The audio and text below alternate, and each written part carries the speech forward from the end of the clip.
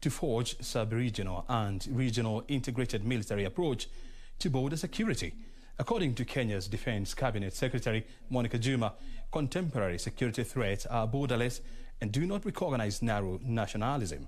The CS was addressing military officers from the nine African countries during the 36th Defense Staff College graduation.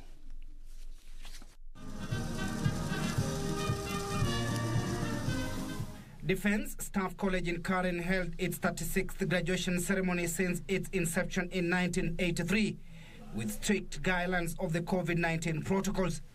The graduating officers are from Kenya, South Africa, Burundi, Egypt, Malawi, Rwanda, Tanzania, Uganda, and Zambia.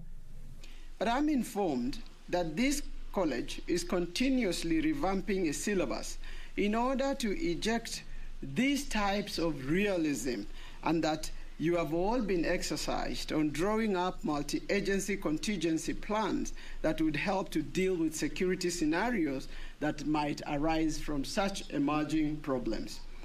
The CS noted the one year course on strategic studies and leadership management will complete and add value to the military package uh, so as to equip them with the intellectual firepower required to tackle contemporary and emerging security complexities. I wish to express my sincere, impressive appreciation of their depth of knowledge, the confidence they exuded, and the strong indication that the year long learning in this institution had shaped their perspectives on not just the region's security agenda, but the world and the perspectives that are shaping it. And that it brought to this graduating team alive to the realities of the fluid security dynamics that we have as a country, a region, and the world to confront collectively. She said the partnership that has been witnessed over the years in offering strategic training and leadership management programs will be elevated even further with the newly chartered National Defense University, Kenya.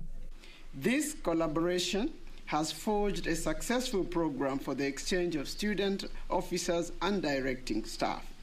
The networks and bonds created in these exchange programs are in tandem with the spirit of promoting sub regional and regional integration between our countries. I wish to reiterate that the contemporary challenges are borderless and they do not recognize narrow nationalisms. Defense Staff College Commandant Major General Martin Ngongoi said the institution will continue offering the best training to Kenya Defense Forces officers in Kenya and beyond borders. This cultural diversity provides opportunity for sharing rich experience and valuable ideas. This course has therefore become over the years an important part and the process of actualizing regional security and defense cooperation. Timothy Kipnusu, Channel One News,